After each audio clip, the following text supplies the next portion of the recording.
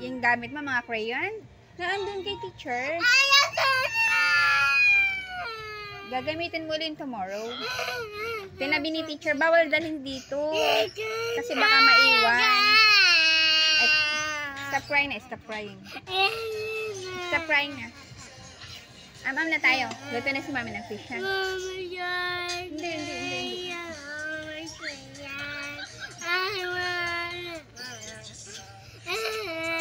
Bibili ulit tayo para meron ka dito sa bahay, ha?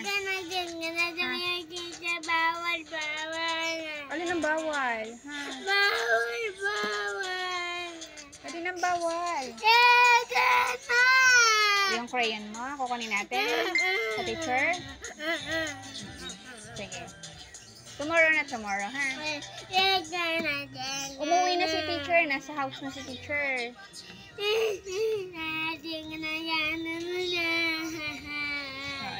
stop na, stop crying